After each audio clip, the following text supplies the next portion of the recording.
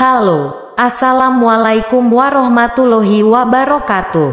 Kisah mualaf Raul Lemos. Terus belajar hingga dinilai lebih paham Islam.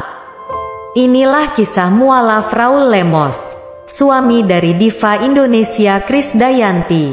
Raul Lemos diketahui merupakan seorang pengusaha asal Timor Leste yang lahir pada tanggal 19 Februari tahun 1971.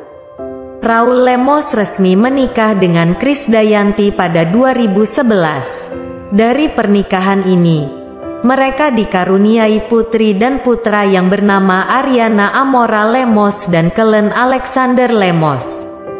Sebelum menikahi Krisdayanti, Raul Lemos dahulunya merupakan non-muslim.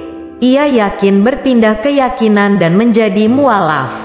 Menurut Krisdayanti, meski menjadi seorang mualaf, suaminya lebih paham mengenai agama Islam daripada dirinya. Contohnya, KD kerap mendapat teguran mengenai cara berwudu oleh sang suami. Sebagai seorang kepala keluarga, Raul Lemos mengajarkan pendidikan agama Islam kepada kedua anaknya.